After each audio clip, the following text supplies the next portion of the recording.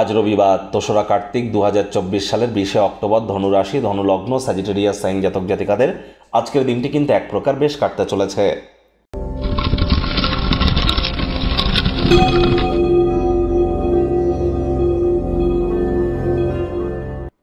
ভিডিওটির শুরুতেই আপনারা স্ক্রিনে দেখতে পাচ্ছেন সূর্যদেবের প্রণাম মন্ত্র, ওম জবা কুসুম শঙ্কাশং, কাশ্যপ্যাং মহাদুতিম, ধন্তারিং সর্বপাপঘ্নং প্রণতহস্মি দিবাকারম।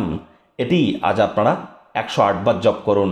আর যদি পারেন, সকাল সকাল ঘুম থেকে উঠে সূর্যোদয়কে নিজের চোখের সামনে দেখুন, খালি গায়ে সূর্যের আলো লাগান, সাদা রঙের বস্ত্র পরিধান করে তর্পণ করার স্টাইলে কোনো গঙ্গা বা কোনো নিকটবর্তী কোনো নদী, পুকুরে স্নান সেরে নিন। অথবা আপনি যদি না থাকে, স্নান করুন, করে ভিজে গাতেই সূর্যদেবের উদ্দেশ্যে তামার বা পিতলের ঘটি, পিতলের ঘটিতে করে আপনারা জল, গঙ্গা জল, কালো তিল, লাল রঙের একটি পুষ্প সূর্যদেবের উদ্দেশ্যে নিবেদন করে এই মন্ত্রটি সাতবার জপ করে দিন শুরু করুন এবং নিজের মনস্কামনা জ্ঞাপন করতে যেন ভুলবেন না।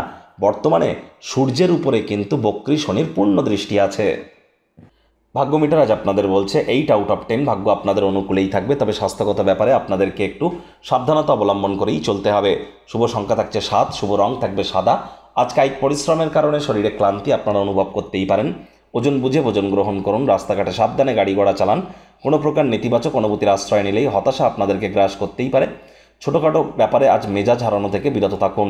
রাগ কিন্তু স্বল্প পাগলামির একটি রূপান্তর মাত্র। অর্থগত ব্যাপারে আয় ইনকাম বাড়বে, তবে খরচও কিন্তু বাড়তে চলেছে, যার কারণে সঞ্চয় ঘাটতি পড়তে পারে। তবে নতুন কোনো বিনিয়োগের সুযোগ অন্বেষণ করতে যেন ভুলবেন না, আর প্রকল্পগুলির কার্যকারিতাকে একবার পরীক্ষা করবার পর নিজেকে সঁপে দিন আর পিছন ফিরে যেন তাকাবেন না। সমাজের প্রভাবশালী ব্যক্তিবর্গ, গুরুত্বপূর্ণ ব্যক্তিবর্গদের সাথে বোঝাপড়া বাড়বে। সামাজিক অনুষ্ঠানগুলিতে যদি অংশগ্রহণ করেন, উৎসাহ উদ্দীপনাও দ্বিগুণ হতে চলেছে।